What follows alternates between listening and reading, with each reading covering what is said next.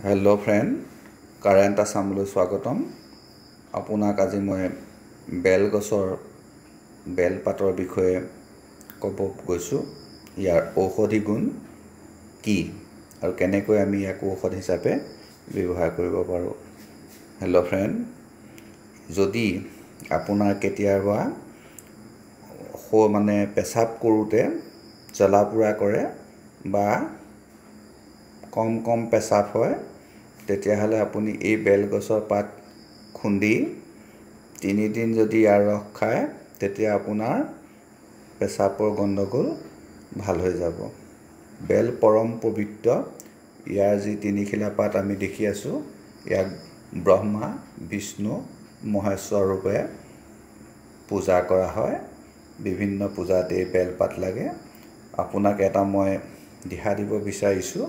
সেইটো হৈছে আপুনি যেতিয়া কোনো শুভ কাৰ্যত যাব তেতিয়াহ'লে আপোনাৰ জেপত নিশ্চয় এপাত বেলপাত লৈ যাব। আপুনি সফল কাম হ'ব আপোনাৰ মনোবাঞ্ছা পূৰণ হ'ব।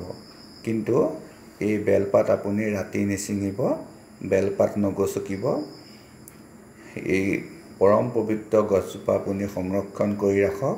আপোনাৰ বিপদ বিঘিনিৰ পৰা আপুনি পৰিত্ৰাণ পাব। যদি কেনেবাকৈ আপোনাৰ ঘৰত তিনিজোপা বেলগছ আছে তেতিয়া আপুনি ধৰি ল'ব পাৰিব যে স্বয়ং শিৱ আপোনাৰ ঘৰত বসতি কৰিছে। হেল্ল' ফ্ৰেণ্ড এই পৰম পবিত্ৰ গছজোপাৰ বিষয়ে আপোনাক ক'বলৈ পাই মই সুখী হৈছোঁ। আপুনিও নিশ্চয় সুখী হ'ব।